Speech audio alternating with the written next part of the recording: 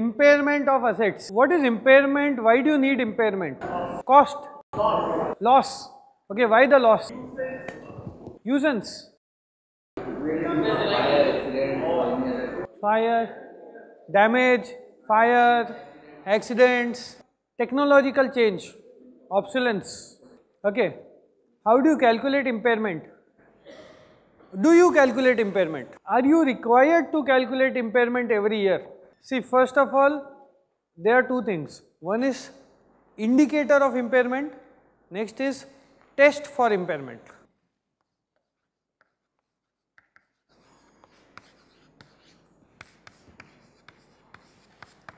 You will test for impairment only if there is a indicator for impairment. If there is no indicator for impairment, you are not required to test for impairment. Okay. So, you will check for indicator for impairment every year and do a test of impairment only when there is an indicator. So, this exercise will be annual or whenever it happens suppose aaj accident ho gaya to aaj indicator ho gaya and this exercise is when indicator exists.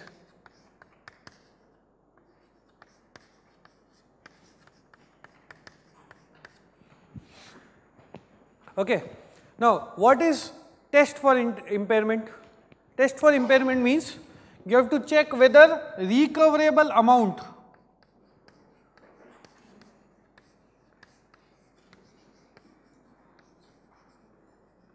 is greater than or equal to your carrying amount.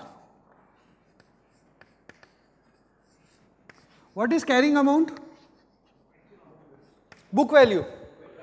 Carrying amount is WDV, book value, actual amount, whatever you might say, whatever amount is there on your balance sheet basically.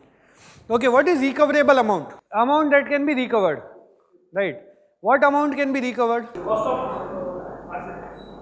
If cost of asset can be recovered, then recoverable amount will always be greater than WDV. How much output can be taken from that asset?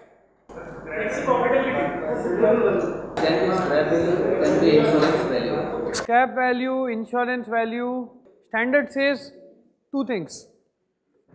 Recoverable amount is higher of fair value less cost to sell.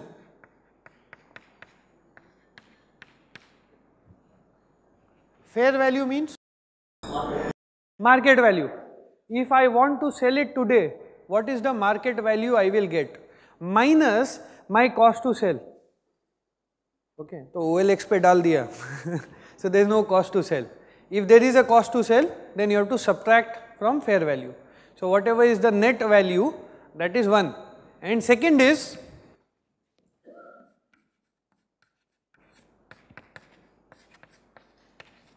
Value in use. What is value in use? Cost of benefits to be derived. By using the asset.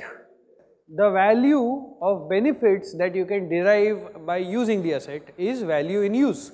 How do you calculate value in use? You have to prepare a cash flow, future cash flow arising out of that asset, then discount it to today's value.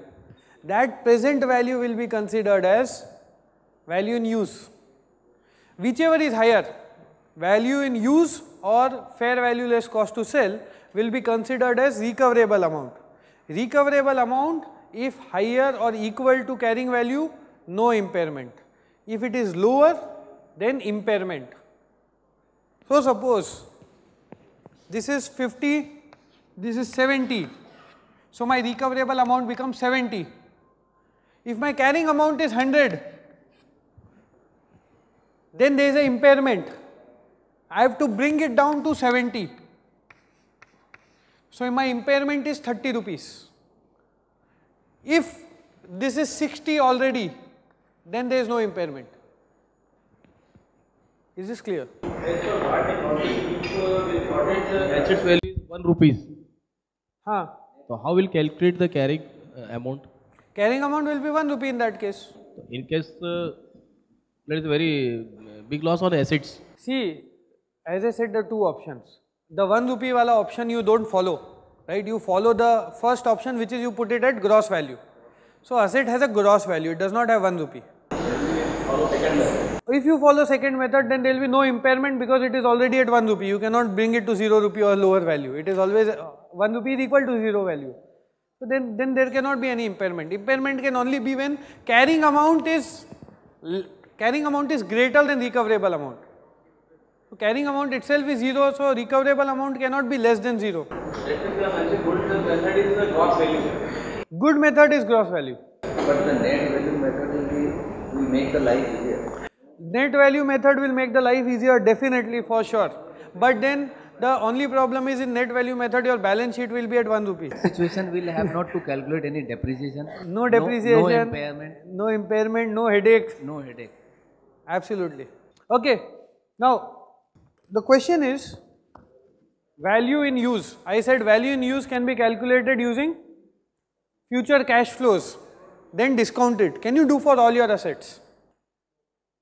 Can you do for this furniture? This is my asset, this furniture, this room, this is my asset, asset of this institution. Can I calculate value in use of this asset? Using usable life cycle and the cost incurred at the time of the purchase. Based on that, some can be calculated. See, it says a lot of assets, administrative assets. See, those which are not my equipments. Equipments I can definitely use and uh, generate assets, uh, generate value. Or say classroom. See, suppose a classroom. I cannot calculate value in use for every furniture in the classroom. ये light का कितना value है, ये projector का कितना value है, ये bench का कितना value है, ये mic का कितना value है. I cannot calculate. But then there is something called a CGU. what is CGU? CGU is cash generating unit. A unit, a smallest unit which, which can generate cash, cash flows. Now what is that unit? Can I consider a classroom as a cash generating unit? Yes. Right? So I cannot calculate cash generating capacity of this furniture, this furniture or this furniture. But I can calculate cash generating capacity of this classroom which includes all these furnitures. Right? So then it says in cases where individual assets cannot generate cash flows, I should combine those individual assets, make a cash generating unit and then calculate impairment for that cash generating unit. How will you calculate impairment for cash generating unit? You can know carrying amount of all these assets together. So I have carrying amount. Let's calculate recoverable amount. Recoverable amount value in use. Can I calculate cash flows, future cash flows and discount for this classroom? Yes? Yes? Every classroom can accommodate 60 students. A classroom can have uh, 250 classes in a year. Suppose, just an example. 50 student, 250 class. मतलब say suppose one academic year of 50 students. One academic year of 50 students can be in this classroom. I can definitely calculate उनसे fees क्या आ रही है and I can have a cash flow for this classroom, right? Can I calculate fair value less cost to sell? Yes. If I suppose I sell these assets, I will have a fair value less cost to sell for all these assets. So all the three value are in place if I consider this as a classroom, as one unit. If all the three values are in place, then I can calculate impairment. अच्छा कब होगा ये मतलब suppose ये classroom में कुछ accident हो गया, कुछ आग लग गई, कुछ भी हो गया okay then I know that there is a indicator for impairment when I know there is a indicator for impairment now definitely इसमें पंद्रह बेंच जल गई, बाकी सारी बेंच बरोबर है। So I can not calculate impairment for पंद्रह bench then I do what then I calculate impairment for this entire classroom and then I impair the impairment जो भी वैल्यू आएगा. See I have all the assets listed separately in my balance sheet furniture is separate, lights is separate right so impairment कैसे होगा फिर? Impairment calculate हो गया classroom के लिए। How will I allocate that impairment to पंद्रह bench are you getting my point are you getting my question okay this classroom has these assets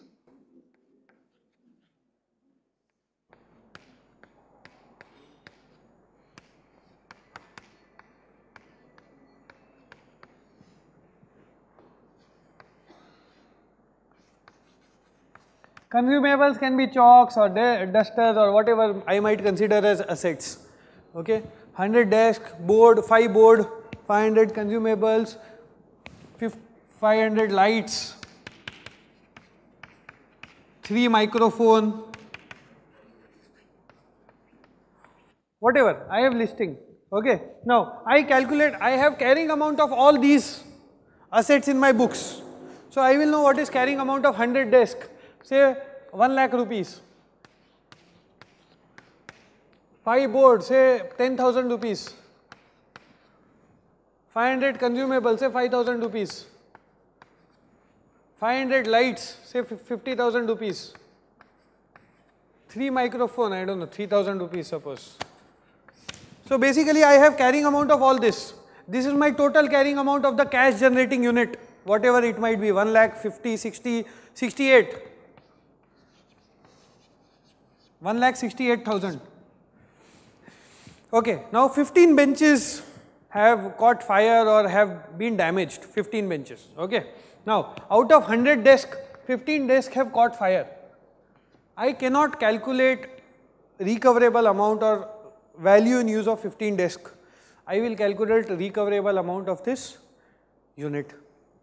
Okay, then what to do? Then this unit पहले capacity था, ये 250 बच्चों को एक साथ, एक academic year में इट कैन डू बट ये 15 डेस्क जलने के बाद 30 students will reduce so now it can take only 220 students right so 220 students का suppose I calculate what is the revenue generated from those 220 students throughout the year okay so I don't know, say 10,000 rupees fees leta hu main. 220 students say it will come to 2 lakh 20,000 something. Let's take something less than 168. So 1 lakh 50,000 is the revenue generated or the profits generated out of, out of using this unit, right? Now 150 is my profit generated, 160 is my carrying amount. Is there impairment? Yes or no? Yes, 18,000 is impairment, right? The value which I will derive out of using this classroom is only 1 lakh 50,000. The carrying amount of all the assets is 1 lakh 68,000. That means there is a 18,000 overvaluation of these assets or 18,000 impairment to be done for all these assets.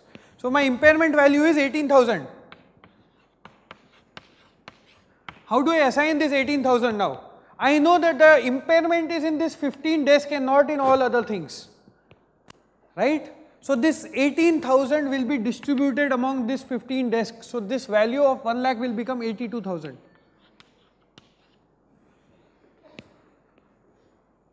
Is this clear or any doubts in this? This is how you calculate impairment. This is an illustration for you know loss of the furniture and all. But in uh, practical, there will be huge loss, loss of revenue because the hall will not be usable for remaining uh, 200 days. Right. It may take time to renovate the hall and 20, 30 days or 40 days classes cannot take place. That loss also will be. How to account for that loss? See that loss will not, see impairment is for future. That loss is immediate loss. It has to be booked in. Calculate revenue for the balance period only. Now I have calculated for future. Suppose वो 15 bench में ठीक ही नहीं करवाता हूँ classroom ऐसे ही चलती है नहीं वो क्लासरूम बंद ही हो जाता है because unless the materials are cleared and things are put in proper shape, classes cannot take place because uh, students will not sit with the burnt benches in the front or back or middle. So there will be actual loss will be much more than what is projected. See, when you when you can repair the benches and you can use it for your classroom, and then the classroom can generate the normal uh, value which it was generating. Okay, and if if that's the case, then you add whatever is your आपका जो भी खर्चा लगा है to repair it okay that value you add over here suppose मेरे को बीस हज़ार, पच्चीस हज़ार लगा है to repair it so my carrying amount will become one twenty five see वो जो पच्चीस हज़ार लगता है डू यू कैपिटलाइज इट और not amount spend to repair the machine और the fix assets what do you do with that suppose I spend twenty five thousand to repair this desk what do I do with that add to the cost of the asset? No, in one of the lectures, if we are bringing to the same level, then it will not be capitalized. Right. And if we are increasing something, we are simply repairing or replacing. Right. It will not be capitalized in that sense. So, if my future economic benefit remains same before and after the repair, that means you are bringing to the same productivity level, then you will not capitalize. So where will that 25,000 go? Expense. And now your asset is back to the same level. So then there will be no impairment. Impairment will be when the damage is permanent, when the damage cannot be repaired. Suppose there is a equipment which has been damaged and which cannot be repaired, okay, but you can still use it to some productivity level. Suppose it cannot be used it, then you will sell it or scrap it and bring a new equipment. Again there is no impairment because you have sold it. Whatever is the loss, you book the loss immediately in profit and loss account. Sorry?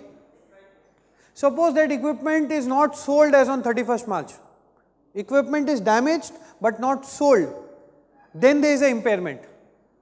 If you have sold before 31st March, then there is no impairment, then there is loss on sale.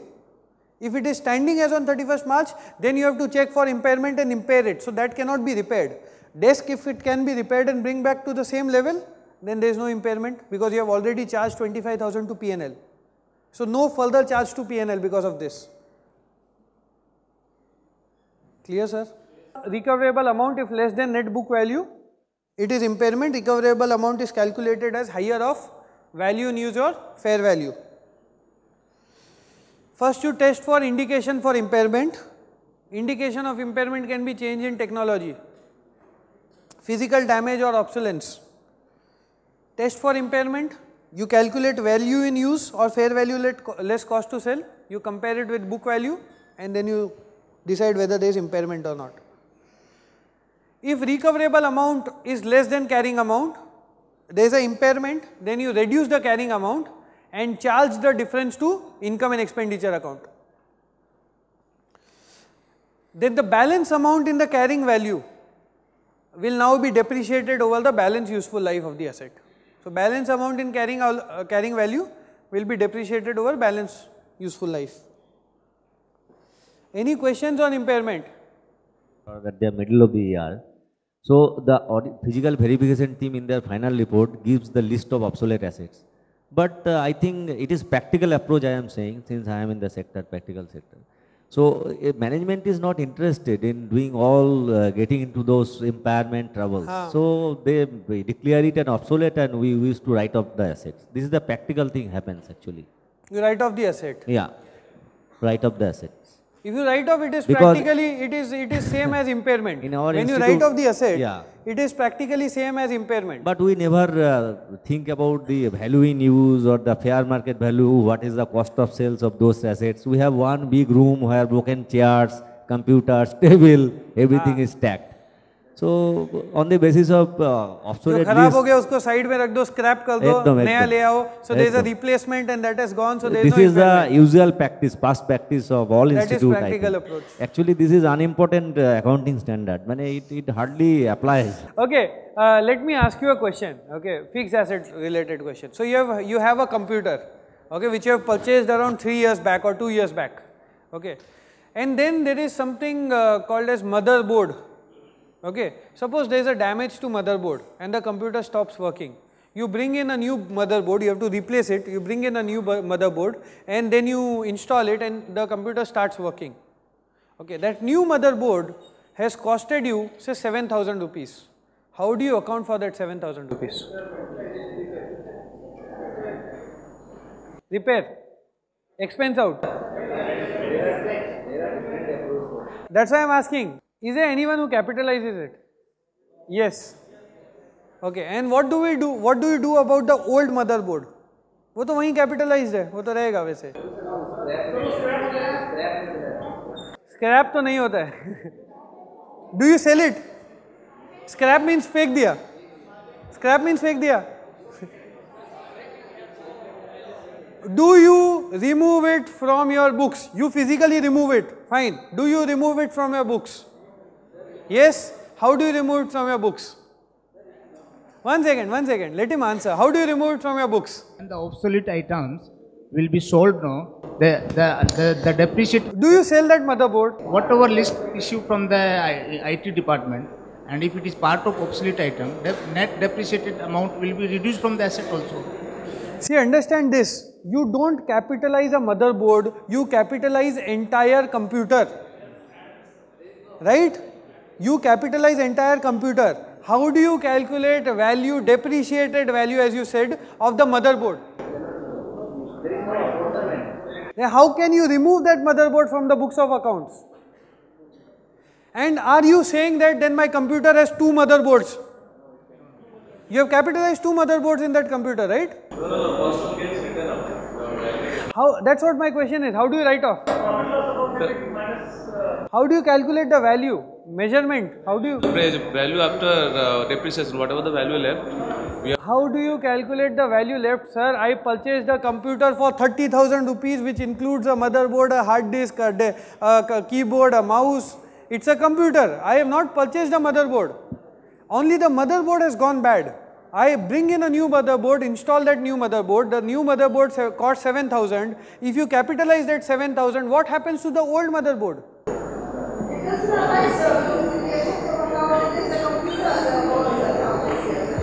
But that computer includes cost of old motherboard, doesn't it? Yes, sir, but it, it, it has depreciated throughout the years, sir. so once it is declared uh, obsolete, no? It's depreciating ve- o- over the years. So, and then when we buy a new motherboard, we add to it. So as as uh, you know, uh, Pankaj ji would have said, or just now sir repeated, that when it bring backs to the same level of efficiency, you cannot capitalize anything. So 7000 new motherboard will get me the same efficiency as the old motherboard. Live also again increase. Life increase of computer. Yes. Okay, if if if you have a contention that life increases because of that 7000, then you should remove that old motherboard from your computer. That means you should do both. You cannot keep capitalize both the motherboards. If you capitalize one, then you have to remove the other. Earlier we capitalized the computer, not the motherboard. But right. now we are capitalizing motherboard. Right. So can a computer have two motherboards? It can't. Earlier you capitalized computer, but that computer included cost of motherboard. Right? Say suppose my, my car, my car has four tires. Suppose एक tyre फट गया एक tyre खराब हो गया I bring in new tire, I fit in the new tire. Definitely as you said life increases. Life increases right. But if I capitalize that tire, what happens to the old tire? Cost of that old tire Cost of that old tire has to be removed from my books of accounts because that has Yes. been scrapped. Now how do you how do I calculate the cost of that old tire? Okay. Now AS10 AS10 does not tell how to calculate the cost of old tire, but there are international standards which is IAS 16 International Accounting Standard which says that how to do this. Suppose my the, as I said new motherboard cost 7000. Okay, I have used the computer already for 3 years. What is my depreciation rate for computers? Five, 60%, right? Now, the international standard says that assume that the old motherboard also costed 7000 rupees. I now depreciate this 7000 for 60% for 3 years. So 4200 again 60%, again 60%, whatever the value comes here, I charge it to PNL, your income and expenditure account. I decapitalize it, then I capitalize that 7000. This is what international standards say. AS10 is silent on this, it does not guide you how to calculate. But then logically, yes, you have to remove the old before capitalizing the new. You cannot have both the motherboards in one computer. In fact, new, uh, if you if you see, uh, it is for companies basically, revised schedule 6.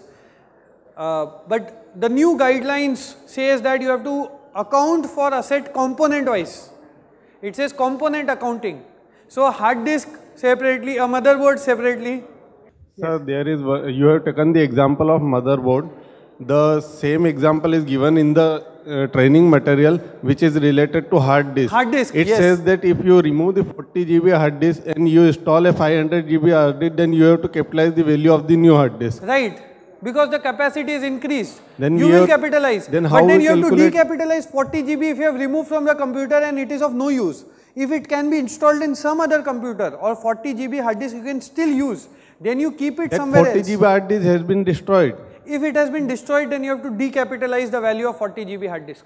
Then we should go to a valuer to get the value of that 40 GB You hard should, disk. you should, you should you can easily find out a value of 40 GB hard disk today and then you depreciate it for the number of years you have used and that value you take out from the Today 40 GB hard disks are not available in market on the any estimated rate. How can we get? We have purchased the computer five years ago. How can we get the value of that? if you have purchased the computer 5 years back and you are depreciating it at 60% then whatever is the value is today the value will be not material so ignore it Practically, the cost of the hard disk will be zero at that. that, that at today's value right Yes. because 5 years you have already used it There's no meaning of decapitalizing, in fact. Huh, so then now if you have used it for 5 years then yes the value is almost zero today so forget it Component wise reporting is to be done, uh, this costing is to be done, the tire is to be separately uh, done, then AC is to be done separately, then body is to be done separately. See, component accounting logic is there has to be two things. One, the life of the component should be different from the life of other components. So, if my life of tire is different from life of engine is different from life of my other body parts of the car. And secondly, the component should be material for the the amount of the cost of that component should be material for the car. So, if my car costs 7 lakh rupees and tire costs 1000 rupees, definitely I will not do component accounting for that. But if my engine cost me 2 lakh rupees and the car cost me 7 lakh rupees, then engine and the other parts of the car should be separated if the life of engine is separate from the life of car. This is the logic behind component accounting.